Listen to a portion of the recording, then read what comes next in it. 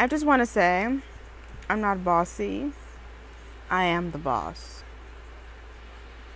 Now, let me give this PSA really quickly. Hello, everyone. I don't come on here often, but yes, that's me and the doobie. Um, so I'm I just saw some commentary up on my YouTube channel here we do not be negative to the CEO of Ally's Way Tarot. If you don't agree with something that I said, first of all, energy is fluid. You have to wait for it to pan out. And if another psychic said something a year, two years, ten years ago, I don't give a fuck. What I said a few days ago is the current energy you're going to watch my readings Ally's way. This is why we're on Ally's page. Okay? We're going to be respectful because I have to say this before I channel any other celebs. I do you guys' request and I'm very respectful and kind and caring.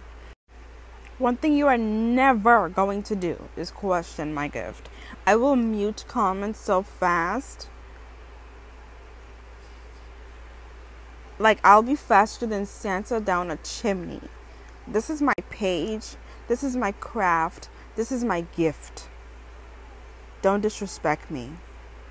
We are here to give chisme, which is gossip in Spanish. We're here to laugh. We're here to have fun. We're here to be a family. We're here to make comments that are appropriate.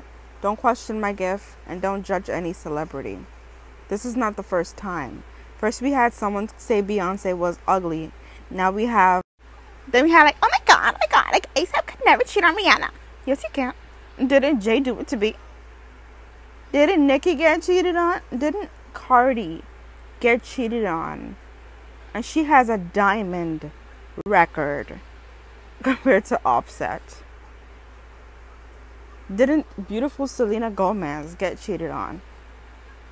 Money means nothing to these men when they want to step out questioning my reading when I'm feeling the emotions of these readers and I have to go to bed and cleanse myself when I felt what they felt. Don't do it to me. You will be blocked. Other than that, I hope you have a wonderful full moon, babes. And stay tuned for when we do Nicki and Cardi. Again,